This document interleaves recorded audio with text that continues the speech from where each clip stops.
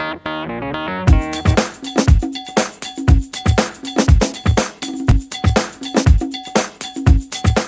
Hoje ficamos fisicamente no prédio da Corregedoria Geral da Administração, funcionamos por muitos anos dentro da Secretaria, da Secretaria de, de Estado da Saúde, pela proximidade dos processos e para poder auditar com uma facilidade maior, uma velocidade maior. Hoje, pela opção da presidência da Corregedoria Geral da Administração, nós estamos centralizados até para facilitar os nossos despachos e a necessidade de trâmite documental, despachos com a presidência e tudo mais. Hoje, nossa estrutura é fica fisicamente na, na Corregedoria Geral da Administração, mas está à disposição de todos vocês para conhecer. Nós somos muito receptivos. Eu sei que normalmente as pessoas não gostam de conhecer a Corregedoria por razões óbvias, mas é, é interessante saber como a fiscalização é realizada e ver que as pessoas que estão lá são servidores, são funcionários como todos vocês, são pessoas que trabalharam como gestores de contratos, são pessoas que trabalharam formulando editais, trabalharam é, permitindo competições em unidades da secretaria de vocês ou de outras unidades, como no meu caso, eu sou de, da Secretaria de Segurança Pública, mas é, que somos pessoas normais. E a gente entende o dia a dia de vocês com um viés não punitivo, mas com o viés de orientar e de trazer, porque quanto maior é a orientação e maior é a, o conhecimento das pessoas que trabalham na ponta, menor a quantidade de trabalho que a gente vai ter para analisar é, e também é, melhor vai ser o serviço prestado pela administração para o povo em geral. Né? Então, já acabado esse momento de apresentação, gostaria de entrar é, no, no, tópico principal mesmo da nossa discussão, que seriam as contratações de bens e serviços pela administração pública direta. Eu coloquei os tópicos é, doutrinários, né, acadêmicos aqui, que seria o próprio texto da lei, mas a gente vai discutir é, em situações práticas como que aquilo, aquilo se aplica, para não ficar uma coisa enfadonha. Né? Então, a gente, a gente começa... Eu separei alguns pontos que são pontos corriqueiros em diversos procedimentos e diversas comunicações que são feitas para a corregedoria, para que a gente faça análise. Isso, é, muitas vezes, durante o próprio procedimento licitatório, muitas vezes posteriormente à, seleção daqueles que prestarão o serviço ou fornecerão os bens, é, muitas vezes concomitantemente a questionamentos é, judiciais e mandados de segurança. Então, são pontos que, é, todas as vezes que a gente se deparar com alguma situação que envolva essas questões, é bom acender uma luz vermelha, né, dar um, um, uns cinco minutos de, de respiração antes de, de continuar o procedimento, para que a gente faça da forma mais fundamentada possível, evitando um questionamento e uma anulação posterior do ato praticado pela administração. Primeiro tópico que eu, que eu separei, e eu coloquei em, em caráter amplo, caráter genérico, é, diz respeito ao cuidado na formulação de editais. A doutora Marinês vai falar especificamente sobre os editais da PGE, então não vou, não vou entrar muito nesse, nesse assunto é, com, com, mais detalhes, ela vai demonstrar para vocês o caminho, como obter esses tipos de, de modelos, né, esses, essas, esses contratos que já são consolidados e já têm uma certa força de legalidade. Eles já vêm, de uma certa forma, é, testados para dizer que eles estão formulados de uma forma a permitir uma competitividade é, ampla, a fazer com que a contratação do governo seja mais segura. É óbvio que, principalmente na saúde, em que existem diversos tipos de produtos e serviços que, e muitas vezes em outras secretarias a gente não contrata, são contratos que demandam uma especificidade muito grande, muitas vezes vão sair dos editais padronizados e a gente tenta utilizar sempre o maior número possível é, das minutas aprovadas é, da PGE, porque são é, minutas de já com uma consolidação e já com uma força é, de legalidade. Isso dá uma segurança para quem está participando nesse momento de, concorrência no sentido amplo, não concorrência modalidade licitatória, né? na parte da competição mesmo, naquele início. Né?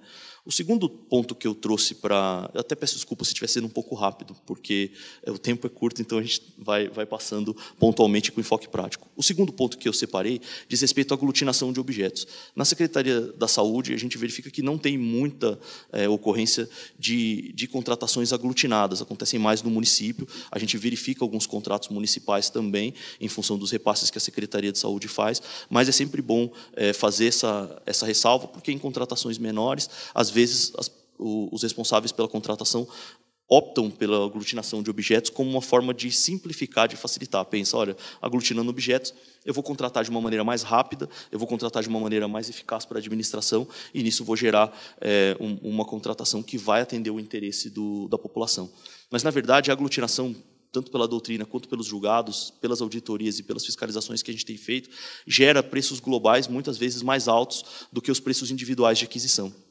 Então, é muito difícil que determinada empresa ou determinado concorrente, determinado participante consiga fornecer diversos produtos, principalmente se forem de naturezas diferentes, é, por preços é, melhores do que os demais concorrentes, é, em todos os, os objetos que vão ser selecionados ou todos os bens que vão ser, vão ser alvo de contratação. Então, o que acontece? Normalmente, parte das, dos concorrentes que não fornecem alguns daqueles bens vão ser eliminados da concorrência ou não vão participar, porque ao ler é, qual a necessidade de fornecimento eles não vão poder não vão poder fornecer. Então, vai diminuir a competitividade e vai fazer com que no final o preço não seja tão interessante para a administração. Né? É, nessa questão da aglutinação, muitas vezes os preços individuais das contratações são interessantes para a administração, porque ele tem o viés de atender aquele tipo de mercado e ele produz aquele, aquele, aquele bem num preço é, muito, muito competitivo. Entretanto, os demais acabam elevando o preço global. Então, uma coisa interessante de se verificar depois, no, no futuro, se alguém tiver questionamentos do debate, a gente pode desenvolver mais esse tema. Né? O próximo ponto é registro de preço. Um dos tópicos que foi mencionado no, no, na divulgação do núcleo de debate foi a aquisição de é, equipamentos de saúde, é, aquisição de órteses, próteses, é, equipamentos hospitalares, e todos, todos os, os bens que são necessários para o exercício do, da Secretaria da, de Estado da Saúde. As formações das atas de registro de preço, elas realmente geravam uma velocidade maior na contratação, geram, né, na verdade, uma velocidade maior na contratação, especialmente nos casos em que não é possível prever o que é, especificamente você vai usar, em que quantidade em que situação. Em muitas situações é difícil você saber se eu vou precisar hoje ou amanhã de determinado insumo, de determinado equipamento, de determinado é, bem. Então, a administração formula um banco, já deixa ele pronto, pré-preparado para uma aquisição, quando for necessário, garantindo competitividade, garantindo é, todos os princípios constitucionais, e no momento da aquisição, é, quando for necessário, quem estiver na ponta lá fazendo o serviço, o atendimento de saúde mesmo, vai poder se valer disso para a contratação. Qual foram os problemas que decorreram disso? Essa formação da, da ata, e houve infinitas discussões, inclusive o próprio decreto hoje caiu, o doutor Marines também vai, vai mencionar a respeito do, do, do decreto. É, a regulamentação é, que, que criou essa, essa modalidade, que possibilitou a realização dessas atas, num primeiro momento não limitava a quantidade de aquisições e também é, não limitava o procedimento de carona. O procedimento de carona que consiste, a maioria de vocês deve conhecer porque trabalham na, na área, mas para quem não trabalha, eventualmente está tá se preparando para isso. O procedimento de carona é o, a ata é formulada por um determinado por um determinado órgão, ela já tem essa ata em vigor e outro órgão que precisa daquele mesmo insumo, daquele mesmo objeto, daquele mesmo equipamento, ele vai aderir a essa ata. É, muitas vezes no início do procedimento aderiam até de outros entes federativos, aderiam de, de órgãos que não tinham vínculo nenhum às vezes com o governo do estado, por exemplo, é, para fazer as aquisições. E o que isso gerou? Isso gerou uma forma de mercantilização é, das aquisições de saúde. Ou seja, a gente virou um, hoje está na moda o termo player, né? A gente virou um player no mercado. É, ficou interessante para as empresas oferecer aqueles produtos, aqueles bens, aqueles equipamentos para a saúde tendo em vista que eles já tinham a perspectiva de contratação, ou seja, já estavam aprovadas, já tinham aquela ata pronta, e eles iriam, iriam poder contratar mais facilmente. Então, passaram a abordar e buscar os nossos hospitais como um nicho de mercado muito grande para fazer essas aquisições. Muito cuidado com isso, sempre nas aquisições do Estado devem é, observar o interesse público, sempre elas devem observar o melhor atendimento da população. Eu sei que falar isso é um pouco óbvio, mas no momento é, do dia a dia, no momento da utilização ali dos equipamentos, isso tem que ficar bem claro, tanto para vocês que trabalham na gestão dos contratos, quanto para as pessoas que trabalham na ponta na execução do serviço de saúde mesmo, para que eles não acabem gerando problemas para eles e para a administração como um todo. Né? É, na fase de habilitação, é, a gente colocou os pontos que têm que ser verificados, e eu vou deixar de, de forma mais ampla possível para depois, no debate, a gente desenvolver. Então, quando habilitar as empresas, verificar de forma exaustiva, não perder, é, não achar que isso é uma perda de tempo, ou seja, um, um desperdício de esforço, verificar se a empresa está regular em aspectos jurídicos, tem os registros empresariais corretos na junta comercial, se ela tem é, capacidade técnica e se ela tem é, a possibilidade de gerar para a administração o serviço e o bem que ela está se comprometendo, né, para que no futuro, quando isso chega, chegue nas mãos do gestor, não seja um problema para ele é, executar ou ter que correr essa empresa, ter que sancionar, ter que obrigá-los a, a prestar um serviço que eles não estão dando conta de fazer os aspectos econômicos e financeiros, se a empresa tem tamanho, se ela tem força de mercado para conseguir prestar aquilo, porque muitas vezes na empolgação ela vai, entra, se coloca como capaz de prestar aquele serviço e quando chega a demanda do Estado, que é uma demanda gigantesca, muitas vezes eles não conseguem atender e o gestor fica numa situação que ele não, não sabe muito bem o que fazer ali. Né? Chega aquele momento em que é, ele diz, bom, eu já sancionei, já entrei em contato, já notifiquei e agora é uma coisa que a gente vai apontar mais para frente também é, na fase de julgamento, pautar todas as decisões, qualquer modalidade licitatória que seja. Eu sei que hoje em dia o pregão, principalmente na modalidade eletrônica, tem dominado as nossas, as nossas aquisições. Um, grande parte das nossas, das nossas aquisições são feitas pelo pregão eletrônico, aquela coisa de preço, preço, preço, né, que é o que a gente, a gente busca, mas também é, tomar cuidado com o princípio de julgamento objetivo, que é o corolário máximo do julgamento em qualquer procedimento licitatório. Isso é uma conjugação dos princípios da igualdade e da impessoalidade, ou seja, quem é o responsável por determinar quem será o vencedor, ele tem que estar equidistante, ele tem que julgar de forma igual é, todos aqueles que participaram é, do procedimento de competição, qualquer natureza licitatória que tenha diga-se de passagem. Então, uma vez licitado, julgar de uma forma imparcial, equidistante, para que não possa haver no futuro uma alegação, tanto em esfera judicial para anulação, quanto para a gente, é, lá na corregedoria, de favorecimento, de direcionamento para contratação com determinada empresa ou de determinado bem específico. Né? A gente pede cuidado também na descrição dos objetos, para que os objetos não direcionem para contratação de um determinado é, bem que a gente gostaria de ter. Né? Muitas vezes é, a administração e a própria execução do serviço de saúde buscam o melhor atendimento da população e quer determinado bem, mas a gente tem que descrever de uma forma que todos os componentes do mercado possam participar com iguais condições no momento de fornecer para o Estado, é, desde que, óbvio, isso não prejudique o atendimento. É, em relação à desclassificação das propostas inexequíveis, que faz parte também é, da, da, da, parte de julgamento, eu até pulei um, porque ele está ligado, na verdade, à questão de, de, julgamento. Tomar muito cuidado e fundamentar as pessoas que trabalham com gestão, ou com gestão, desculpa, com pregão eletrônico, é, e quem trabalha também nos julgamentos de todas as outras modalidades licitatórias, quando optar por desclassificar é, competidores seja por inexecuibilidade de proposta, seja por qualquer outro item técnico, momento de, de verificação de habilitação, fundamentar exaustivamente, colocar todos os, os, fundamentos que levaram aquela escolha pela, pela não, não seleção da empresa, porque, invariavelmente, o perdedor ele questiona o porquê de não ter sido é, escolhido. Né? Normalmente ele está em primeiro, ele não vai ser escolhido por qualquer razão.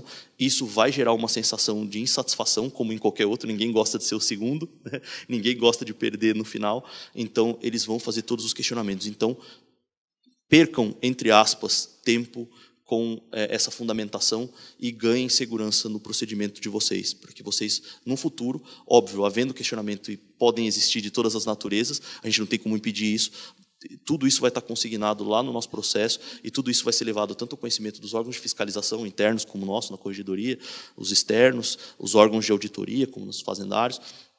A gente pode ter sempre essa segurança de que tudo que foi feito ali está documentado e está tá instrumentalizado no nosso processo interno. Tá okay? É, em relação ao pregão, uma dúvida que, que o pessoal apresentava sempre, eu acho até engraçado, porque é uma coisa meio americanizada, de filme americano. Né? O pregoeiro ele pode ter uma conduta é, ativa, né, aquela conduta, pode blefar, falar assim, eu quero um preço melhor, eu, o pregoeiro que quer o melhor preço para a administração, posso dizer, ó, preço referencial, você está muito longe, tal, isso, eu quero um preço mais barato. Não, o nosso pregoeiro hoje em dia, ele tem uma postura mais de juiz do que uma postura de, de, de assertividade. Ele precisa verificar ali se aquelas propostas estão seguindo uma ordem lógica, se elas têm é, nexo com o mercado, se elas estão apresentando é, valores e é, competitividade tal que, vai, que vão gerar para a administração uma contratação boa, uma contratação que vai atender o nosso interesse. Então, ele fica mais nessa parte de validação do que na parte de buscar realmente um melhor, um melhor preço. Né? Algumas pessoas têm essa dúvida, é, normalmente as pessoas que não trabalham no dia a dia com, com o pregão, porque é, quem vê no dia a dia sabe que, que até não existe muito campo para ter esse tipo de conduta, mas a doutrina sempre apresenta essa, essa questão por causa dos, dos pregões e dos leilões americanos que vê sempre no filme, né? aquela coisa lá, ah, pô, quem dá mais, quem dá mais.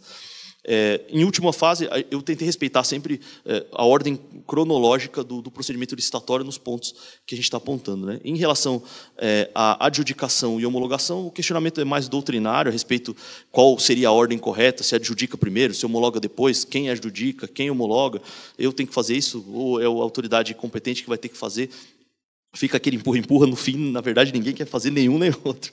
Mas, na verdade, é, o questionamento fica em cima disso. Hoje, o que tem sido adotado, e doutrinariamente majoritário, apesar de não ter muito reflexo é, prático, mas para a gente é, a ordem ficaria adjudicação e homologação, a adjudicação pela equipe responsável, que acompanhou todo o procedimento de competição, e a homologação pela autoridade é, responsável pela contratação, que, em última instância, é quem vai analisar se aquele contrato está sendo é, bom para a administração ou não, se tiver alguma necessidade de prorrogação, se tiver alguma necessidade de modificação em condições contratuais. A homologação vem como um aval da equipe que trabalhou todo o procedimento de, de aquisição, para que essa autoridade, que muitas vezes não esteve presente fisicamente, mas acompanhou todo o desenvolvimento, possa homologar em confiança daqueles que escolheu como os responsáveis por dizer se aquilo está correto ou não.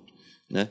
É, em seguida, a gente passa para a gestão de contratos administrativos. Gestão de contratos administrativos em outras palavras, né, assim, uma frase para resumir tudo, não precisaria falar mais nada, lisura na execução contratual, ou seja, executar o contrato da forma em que ele foi previsto e de acordo com o instrumento convocatório, com o edital, com todas as, as características que foram discutidas no momento da escolha é, daquela determinada empresa.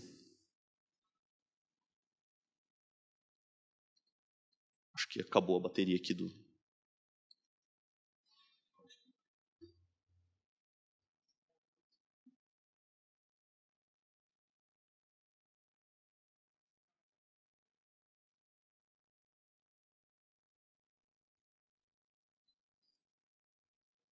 Tem como passar?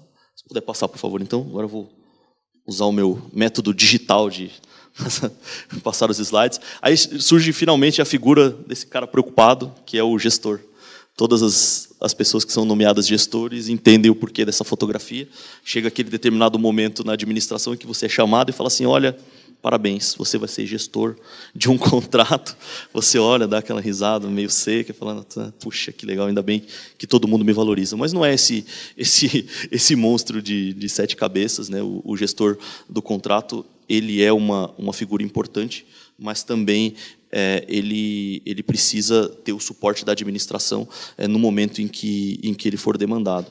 Na verdade, todos nós quando obrigado. Todos nós quando trabalhamos é, em nossas respectivas secretarias, vamos em determinado momento das, das nossas carreiras é, precisar trabalhar como, como gestores ou precisar trabalhar na é, fiscalização, na execução de algum serviço que seja inerente às nossas atividades. Então, faz parte das, das, nossas funções como servidores públicos e a gente tem que, que, enfrentar isso. Na verdade, acho que ele não precisaria ficar tão preocupado assim, é, desde que a gente faça tudo de uma forma documentada e trabalhe direito como a grande maioria de todos os nossos servidores, é, não, não deveria ter esse tipo de, de enfoque. É mais para dar uma uma quebrada um pouco. No, as, vamos falar sobre a execução do contrato, a gente precisa dizer sobre cláusulas exorbitantes. É um, é um termo jurídico, um juridiquês que às vezes para o dia a dia não, não ajuda muito, mas a gente precisa desse conceito para poder falar o que faz um gestor e quais são as atribuições é, de um gestor. Né? Cláusulas exorbitantes são poderes administrativos ou prerrogativas protetoras do interesse público,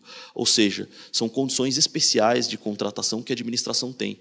É, não são cláusulas abusivas no sentido de gerar para a administração poderes é, quase que é, intangíveis, mas elas garantem, pelo fato da administração ser responsável é, pela, pela execução de serviços que são de interesse da população, algumas garantias que o contratante particular, quando contrata com outro particular, não tem por si só. Então, são garantias contratuais para que a gente consiga manter a execução e a prestação do serviço público, independentemente de alguma intercorrência que possa acontecer na execução do contrato. Os gestores, eles trabalham em cima dessas prerrogativas da administração e eles se utilizam dessas entre aspas, cláusulas exorbitantes. Né? Antigamente era o princípio da supremacia do, do poder, okay? princípio da supremacia da administração nos contratos administrativos. Né? Hoje, a nomenclatura utilizada são as cláusulas exorbitantes. O gestor ele tem que trabalhar sempre vinculado ao instrumento convocatório. A matemática 1 mais 1 igual a 2 da, da gestão do contrato é a vinculação ao instrumento convocatório. Tudo que está previsto lá tem que ser executado na forma que foi prevista, nas quantidades que foram é, apontadas, com a qualidade que foi apontada e nas condições que foram decididas no momento da escolha pela administração do particular que vai executar aquele contrato. Então, a partir do momento que você executou o serviço ou recebeu o bem exatamente da forma que foi prevista é, no edital, na competição, e aquilo não pode ser alegado desconhecimento por, por parte da administração e também por parte do particular, porque foi discutido entre eles, a partir do momento que foi entregue dessa forma, a gente não tem é, mais o que, o que discutir, não tem mais o que falar, porque esse contrato vai estar é, legalmente seguro e vai garantir também, tanto para o gestor quanto para as equipes técnicas e demais é, servidores que trabalharam no procedimento de, de contratação, a, a, garantia e a segurança de que aquilo foi, foi bem contratado e o bem vai ser bem utilizado. Né? É uma questão um pouco controversa que a gente trouxe aqui é se isso seria uma regra absoluta. A doutrina aponta alguns exemplos em que seria possível ter uma desvinculação do instrumento convocatório, ou seja, sair um pouco do edital. Eles dão como exemplo prático o fornecimento pelo particular de um equipamento que seja superior ao equipamento inicialmente descrito, é, que faz, faça as mesmas, é, tenha as mesmas atribuições ou faça as mesmas funções em função do do, do, fim do objeto, por exemplo, ele é um objeto descontinuado, ele é um equipamento que não existe mais, então não tem como fornecer. O contratado opta por fornecer um equipamento superior que faça as mesmas funções, mas não, é, mas não o mesmo equipamento é, contratado inicialmente é um pouco questionável, e eu acho que nesse momento aqui que a gente analisa é, contratações e a própria fiscalização, a gente precisa é, fugir o máximo possível dessas contratações que possam gerar algum tipo de, de questionamento. Né? Mesmo sendo um equipamento melhor, mais moderno e que não gere é, um prejuízo para o Estado num primeiro momento, quando analisado, ele pode apontar no passado é, um prejuízo de concorrência uma diminuição na competitividade durante o procedimento licitatório, porque algumas empresas que possuíam esse equipamento podem não ter participado naquele primeiro momento, quando da descrição, e acabam é, ficando alijadas da possibilidade de fornecer esse tipo de equipamento para o Estado. É, acontece, a gente já viu é, alguns equipamentos dessa, principalmente em saúde, os equipamentos se atualizam muito rapidamente, eles modificam, às vezes não é interesse da, da empresa continuar fabricando aquele modelo, mas fabricam um novo modelo que faz aquilo e muito mais, eles, eles vivem sempre produzindo novidades e produzindo coisas. Então, ter muito cuidado é, quando for adquirir esse tipo de, de bem, é, porque sempre gera questionamento. É, chega a nós, muitas vezes, não por uma, por uma ação é, ativa de fiscalização, mas por uma reclamação de algum outro licitante, de algum é, outro concorrente, porque eles se conhecem do mercado e eles sabem os produtos que eles oferecem, eles conhecem é, o que cada um pode fazer e quais são as condições é, de, de aquisição pelo Estado. Né? É, o gestor, pela lei de, de, licitações, ele é o fiscal do contrato administrativo, é o resumo total. Não preciso falar mais nada, a, a, própria, a própria lei já, já explica. Ele fiscaliza todas as condições de execução, ele pontua todos os elementos descritos no edital e bate um a um para verificar se a empresa está fornecendo o bem ou prestando o serviço de acordo com o que foi combinado naquele primeiro momento da, da competição todas as vezes que ele identificar qualquer situação que desvie daquele, daquele instrumento convocatório ou daquelas condições discutidas no momento da contratação, ele deve fazer o registro daquela ocorrência a comunicação a quem de direito, que é a autoridade competente para decidir se vai punir, sancionar, no caso, se vai multar ou se vai desdobrar. Né? Ou se vai manter a contratação, se vai só notificar. É, quem gerencia o contrato é a autoridade competente, ou seja, quem tem poder de prorrogar, uh, modificar eventualmente circunstâncias ou, ou, situações de contratação é a autoridade competente, é aquele que é responsável por contratar o serviço. O gestor ele fiscaliza e acompanha a execução. Ele tem que comunicar tudo, tudo que acontecer é, na execução daquele contrato, não só intercorrências, tá? não só é, situações que demandem uma, uma ação ativa do Estado, mas também qualquer outra é, circunstância de relevância na execução contratual.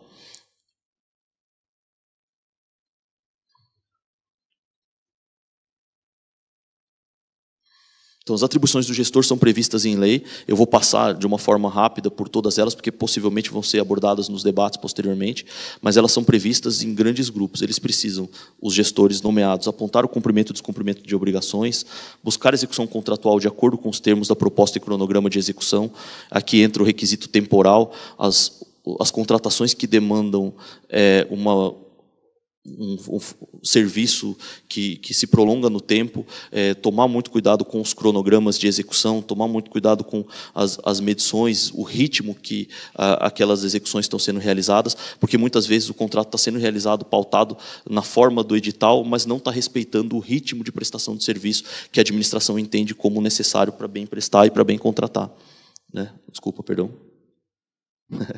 É, as medições óbvio. Eu sei que é muito difícil. O questionamento das medições é: eu tenho condições técnicas para medir, muitas vezes, pela escassez de funcionários, é, os gestores designados do contrato não têm formação técnica específica para ter conhecimento daquele tipo de, de, de prestação de serviço em si. Isso é realmente um, um, problema de não ter um corpo é, direcionado para cada tipo de prestação de contrato, mas a partir do momento que nós somos designados, a gente tem que trabalhar é, na melhor execução possível do contrato. Havendo necessidade, a Secretaria de Estado da Saúde tem, é, dentro da estrutura da, da secretaria, diversos setores que podem auxiliar na parte técnica, na parte de tomada de decisão, para apontar se aquilo está sendo executado de forma correta, ou se aquilo não está sendo executado de forma correta, se aquilo está sendo executado no tempo certo ou não. Então, tentar o máximo possível se valer é, dos órgãos técnicos da secretaria para poder respaldar as decisões e os apontamentos de vocês.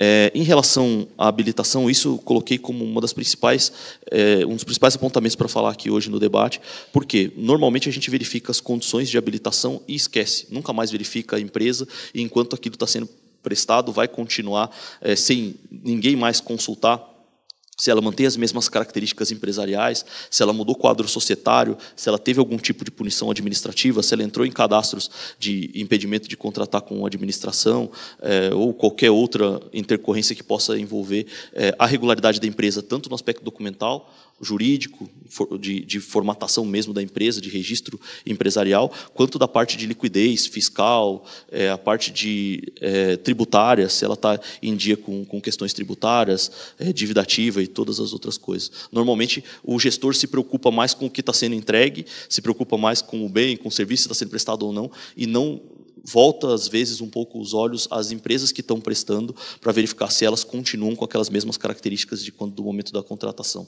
Né? O gestor não pode autorizar prorrogações, aditivos ou qualquer medidas que implique alterações nas, nas condições contratadas. Isso é obrigação da autoridade competente para é, contratar. O gestor aponta irregularidades, aponta intercorrências, aponta é, condições de execução do contrato. A autoridade que decide se depois vai prorrogar, se vai ter qualquer modificação, é somente a autoridade designada que pode, pode decidir a respeito disso. Agora eu já tinha estraguei um pouco a piada, né, porque o, o, o PowerPoint o PowerPoint pulou, mas é, agora é o momento que todo mundo fica meio de cabelo em pé, né? Aquela aquela hora em que o casamento é, vai por água abaixo, que enquanto a execução está sendo, tá sendo feita é, tanto de acordo com o que a administração necessita, quanto de acordo com o que o, o contratado quer, né, ver como benefício de mercado, está tudo ok. É, um momento de hashtag que eu coloquei partiu guerra, um momento de pegar o fuzil e sair correndo atrás, são nas hipóteses de rescisão ou quando a execução do contrato não está de acordo com o que a gente espera. Né? Nesse momento, às vezes, a gente vê uma certa dificuldade no confronto entre é, o interesse do gestor de manter a execução do contrato, ou seja, eu preciso daquele serviço, não quero pôr a perder a minha contratação, e a necessidade de é, zelar pelo interesse público, pelo dinheiro do Estado, pelo dinheiro da população que nos é investido para aplicar, né, e pelo interesse da própria secretaria, de ver um serviço bem prestado para ter um retorno daquilo. Então, o maior conflito que se apresenta para a gente muitas vezes é, poxa, eu sei, eu vi que estava sendo executado de uma forma é, não muito adequada, mas eu tinha uma preocupação em não perder a prestação daquele serviço, eu não podia interromper o meu serviço de saúde, eu não podia atender interromper o meu atendimento. Né? Então, a gente vai passar as hipóteses de, de, rescisão, contra, de rescisão administrativa dos contratos. É, são hipóteses previstas em lei, não vou ficar perdendo tempo. É, vocês têm que pautar todas as decisões de vocês em cima de alguma dessas circunstâncias. Então, seria o descumprimento ou cumprimento irregular de cláusulas, a lentidão na execução contratual, a paralisação total ou parcial do contrato, na execução do contrato, a violação do caráter personalíssimo do contrato, ou seja, a pessoa é contratada e é, subcontrata infinitamente outras pessoas para realizar, de uma forma que, daquele contrato inicial mesmo, ela não realizou nada. Né? Então, o caráter da contratação da administração é personalíssimo, até porque a gente leva em consideração as características de quem a gente está contratando para dizer se ele pode ou não prestar o serviço para a gente. Então, as faltas reiteradas e desrespeito às exigências legais da administração, a falência ou insolvência civil é, do contratado. Né? A gente tem um questionamento importante aqui sobre empresas que têm hoje recuperação, é, estão em recuperação judicial, se elas podem manter os posicionamentos dos tribunais são no sentido de que, em razão do princípio da manutenção da empresa, tal, nós devemos prestigiar as empresas para que elas consigam se recuperar, mas sempre avaliar o risco da administração quanto à eventual é, interrupção da prestação de serviço. Dependendo das condições de recuperação judicial, é, o gestor tem que avaliar essa situação de forma a não gerar prejuízo. É, a falência ou insolvência civil do contratado, dissolução da sociedade ou falecimento do contratado, é, alteração social ou modificação da finalidade ou estrutura da empresa contratada. A gente mencionou antes nos requisitos de, de registro das empresas. Né?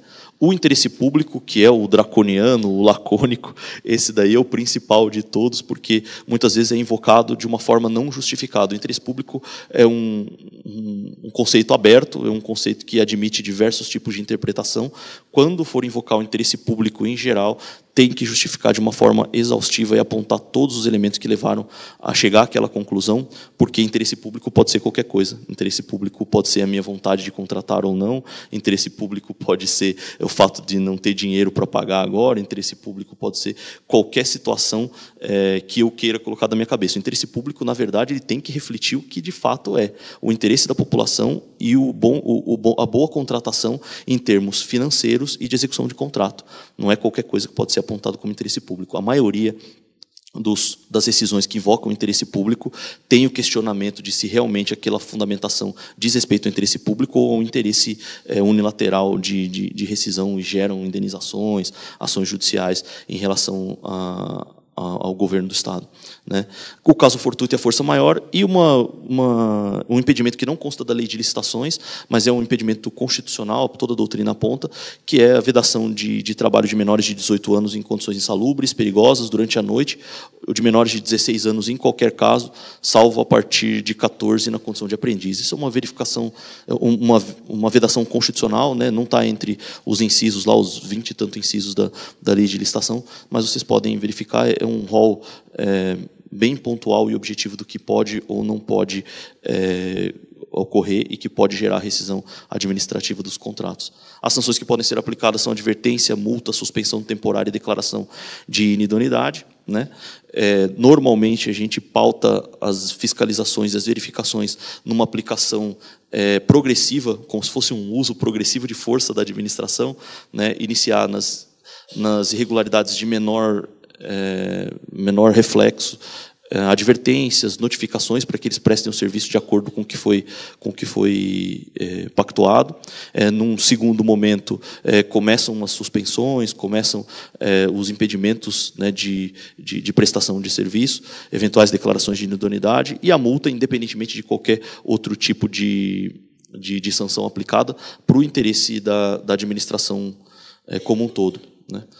É, em aspectos gerais, na questão de aquisição, é, o que, o que eu tinha a dizer, depois a gente vai desenvolver nos debates, acredito que vão surgir várias perguntas, então a gente tem como, como desenvolver mais tópico a tópico, o tempo é muito curto. O que eu gostaria de falar também com vocês, isso é uma realidade quase que exclusiva nossa ali da CGA em relação à responsabilização, mas também é atribuição de todos inclusive dos secretários de Estado e de toda a estrutura que abaixo dele se, se localiza, para que a gente possa também fazer valer é, os dispositivos da lei anticorrupção. Né? O, a possibilidade de responsabilização das empresas, ela passou por uma modificação drástica com, com a lei anticorrupção, que é a Lei 12.846/2013, porque passou a permitir que a gente busque por um meio próprio, que é um PAR, um procedimento que chama procedimento administrativo de responsabilização, que é contraditório, né? a responsabilização das empresas que geraram um prejuízo para o Estado, isso de uma forma de responsabilidade objetiva, o que até hoje a gente não tinha todas as, as previsões para responsabilizações empresariais que nós tínhamos anteriormente, quer pela lei de improbidade, que chegou em 92, quer pela lei 8666 de 93, elas previam responsabilização subjetiva da empresa e ainda com uma grande dificuldade de saber se elas tinham como ser punidas ou não em razão da personalidade jurídica delas. Né? Elas são empresas, não teria como ter uma pena corporal ou algum tipo de punição, como é o, o caso do, do particular, né? da, da pessoa. Né? Então, é, a lei anticorrupção prevê essa possibilidade e hoje, depois de algum tempo, a lei começa a pegar marchas mais é, velozes, começa a, começam a surgir as demandas para que a gente faça esse tipo de procedimento de responsabilização e a tendência é que no futuro cada vez mais esses procedimentos de responsabilização surjam. Por quê? Às vezes o interesse da administração não é só punir exclusivamente punir o servidor que trabalhou na, na licitação, muitas vezes falhou é, por, um, por um desconhecimento ou é, por, um, por um problema administrativo, mas sim permitir que a administração consiga utilizar bem o dinheiro que é investido por ela em nome da população. Então, é, uma vez é feita o, o, feito o procedimento de responsabilização empresarial, a gente consegue um instrumento é, processual para obter uma recuperação daqueles valores que muitas vezes o próprio gestor do contrato ou a secretaria não consegue, é, num contato direto, é, obter aquela, a, aquela, aquela restituição ou aquela punição da empresa. Então, havendo a, a verificação, a identificação de que as empresas fraudulentamente participaram das competições, que elas criaram mecanismos para burlar, para enganar a secretaria, é, quer seja em grupos empresariais, formações de cartéis, é, apresentação de documentos de natureza inidônea, né, é, lances combinados, qualquer tipo de, de, de, situação que indique essa, essa participação criminosa externa, a gente tira também um pouco do foco da administração como um todo e leva o foco para as empresas, que também têm que levar a sua parcela de culpa no momento em que um procedimento dessa natureza não dá certo. Né? A lei de corrupção prevê alguns instrumentos que dão uma entrada maior para a gente em relação às investigações, possibilitam as leniências, hoje está na moda, em todos os jornais vocês veem aí empresas assinando acordo de leniência, eu quero dizer o que aconteceu comigo, agora chegou a hora de eu falar tal, porque essa possibilidade faz com que informações que normalmente ficavam restritas àqueles, àqueles empresários é, do lado de fora ali da administração, sem um, um, um contato direto com os entes de fiscalização, possam trazer isso quando eles não concordarem. Quando eles forem é, com, com, uma intenção, eles vão, de, de, toda forma, esconder, vão, vão homiziar, emiscuir essas, essas informações. Mas, se eles forem de boa fé e se, estiverem numa situação que eles estão sendo compelidos a agir daquela forma, então, é, esse, esse instrumento é um instrumento é, legal, um instrumento bacana para a gente conseguir recompor o, o, patrimônio do Estado. São multas altas, é, são punições graves, muitas punições que geram é, danos na imagem das empresas, o que para eles muitas vezes é o mais importante do que dinheiro. Você colocar publicações oficiais de que a empresa ela é uma empresa inidônea, ela é uma empresa que gera problemas para a administração, isso faz com que eles percam contratos, isso faz com que eles percam credibilidade de mercado, percam contratos com outros particulares. Então, para a gente, isso é um instrumento muito forte de garantia para que as nossas contratações ali na ponta, o pessoal que está contratando a aquisição de um lápis, a aquisição de uma borracha, aquele exemplo menor possível, ele sempre tem empresas idôneas competindo nos, nos procedimentos licitatórios. Né? E, por fim, eu estou com o tempo encerrado aqui, de acordo com a Laura, o papelzinho já chegou, mas é um, um assunto que me interessa muito, que são as novas perspectivas de fiscalização. Hoje, todas as instituições estão é, buscando mecanismos novos de inteligência para, as investigações, e o meu papel, tenho trabalhado muito com isso lá na CGA, e tenho o aval total da presidência para a gente tentar desenvolver algo nesse sentido, é buscar é, ferramentas de inteligência e de suporte tecnológico que possam apontar para a gente automaticamente quais são os procedimentos que têm é, problemas. Então, são automatizações de checklists, são análises de big data, ou seja, a gente pega tudo que tem na rede em dado aberto de jornais, revistas, é, junta comercial, para fazer um mecanismo que aponte para o gestor e para o fiscalizador que aquela empresa tem uma grande chance de realizar um contrato que seja inidôneo ou realizar um contrato que vá gerar um prejuízo para a administração. É um, um, uma fase de auditoria de risco, ou seja, pode ser que o sistema aponte 90% de possibilidade de que exista alguma coisa errada, mas que não se verifique exatamente se teve ou não, mas a gente focaliza especificamente nas fiscalizações que a gente precisa. Então, são ferramentas de bots, né, a gente chama bots, é, são robôs que fazem essa análise preliminar e passam para o fiscal, para o auditor, para o corregedor, somente aqueles contratos que têm é, uma possibilidade de, de, de, ter algum problema. Né. Encerrando, é, a gente gostaria de poder analisar todos os contratos, mas não é possível analisar, a gente acaba analisando de acordo com as denúncias que, que chegam para a gente. Hoje, a nossa ação ela é focada na ação reativa e, em um segundo plano, é focada na ação é, preventiva. Né? O objetivo é que, no futuro, as nossas ações sejam preventivas, de modo a não gerar prejuízo ou interromper qualquer tipo de possibilidade de prejuízo antes mesmo dele acontecer, e as repressivas fiquem somente para aqueles casos em que a gente precisa analisar fisicamente os processos. Eu agradeço a todos pela paciência, agradeço pelo. Eu sei que falo demais, né? Às vezes todos, todos que trabalham comigo falam que para dizer bom dia, às vezes eu demoro mais que 45 minutos, mas eu fico à disposição de todos. É, nossa estrutura lá na, na Corregedoria Geral da Administração, todas as vezes que somos procurados pelos gestores, pelas equipes que trabalham nas licitações. Nós temos o atendimento é, para tentar ajudá-los também nesse momento, porque o objetivo aqui é impedir é, não a pessoa que tem más intenções, mas ajudar o, aquele que é de boa intenção e que se vê designado para trabalhar nesses, nessas situações. Muito obrigado, atenção de todos.